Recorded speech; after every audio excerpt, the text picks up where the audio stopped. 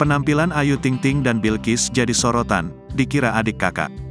Berita seleb terkini Ayu Ting Ting dan anaknya, Bilkis Humairah Razak jadi sorotan saat akan menonton konser grup Blackpink. Pasalnya, penampilan Ayu Ting Ting dan Bilkis tidak terlihat seperti ibu dan anak, melainkan kakak dan adik. Pada postingan terbaru sang biduan, Ayu Ting Ting dan Bilkis kompak mengenakan kaos crop yang berpadu dengan rok mini berwarna hitam. Mantan istri Angie Baskoro itu mengenakan kaos berwarna putih dan benny pink, sementara anaknya memakai kaos pink. Mereka juga kompak menggunakan sepatu dengan kaos kaki hitam panjang.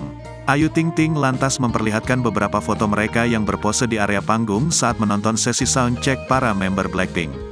Alhamdulillah ya nak, Happy terus kita pokoknya ya nak. Emoticon hati merah, bersyukur selalu nak. Had so make fun today at Blackpink concert, tulis Ayu Ting Ting di Instagram. Dikutip Minggu, tanggal 12 Maret tahun 2023. Unggahan itu pun lantas menyita perhatian publik. Banyak yang memuji penampilan Ayu Ting Ting dan Bilkis yang terlihat bak kakak dan adik. Dari sekian orang-orang sibuk cari outfit nonton Blackpink tetap pemenangnya kedua orang ini yang ngerti outfit simple tetap kece, kata salah seorang netizen. Cantik banget, puji yang lain.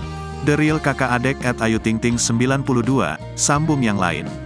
Ini emak anak, apa empo adek sih Masya Allah, ujar warganet lainnya.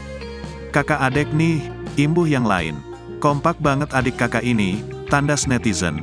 Selain memuji penampilan keduanya, ada juga warganet yang menyoroti momen Bilkis berkali-kali mendapatkan perhatian member Blackpink.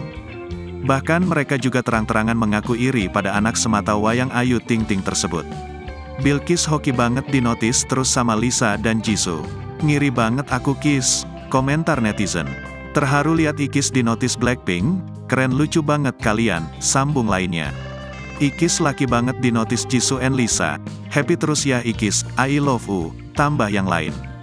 Gua cuma iri Mabil Kis di notis Lisa Majisu, tulis warganet lagi dengan emoji menangis.